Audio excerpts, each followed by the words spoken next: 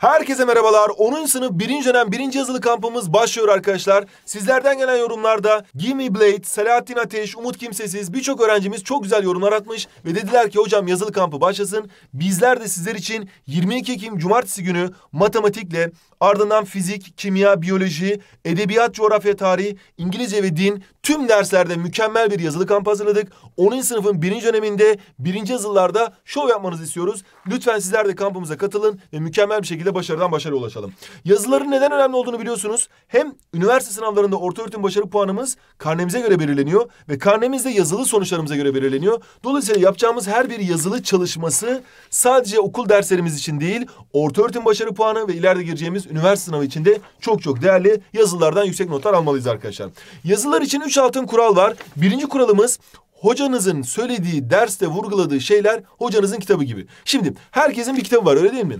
Hocalarınızın kitabı da esasında derste biyoloji hocanızın, kimya hocanızın, fizik hocanızın, coğrafya hocanızın arkadaşlar buraya dikkat edelim burası önemli dediği yerler esasında hocanın sınavda da soracağı yerler. Çünkü sınavda bunu soracağım ben de önceden söyledim arkadaş demek istiyor size. Dolayısıyla öğretmeninizin yazdırdığı, hocanızın yazdırdığı defterleri mutlaka güzel bir şekilde tekrar etmelisiniz.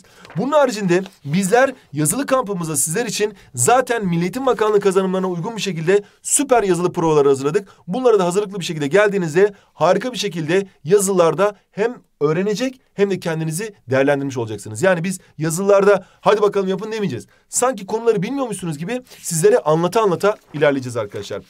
Üçüncüsü de yazılı notlarımız hazır. Onun sınıf birinci dönem birinci ve ikinci yazılı notlarımız sizlerin tüm derslerde edebiyat, tarih, coğrafya, matematik, fizik, kimya, biyolojide efsanevi notlar almanızı sağlayacak. Hatta şöyle birazcık yakınlaşalım gösterelim bakın.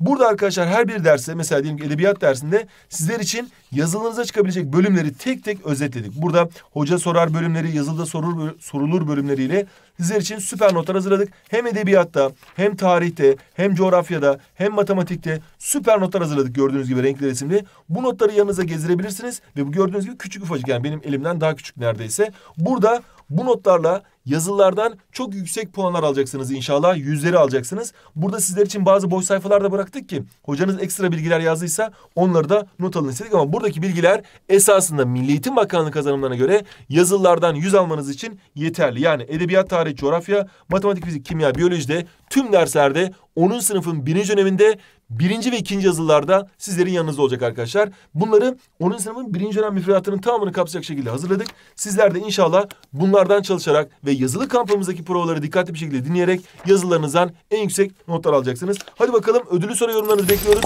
İnşallah yazılarda tahmin ettiğinizden çok daha iyi notlar alırsınız. Şimdiden başarı sizinle olsun.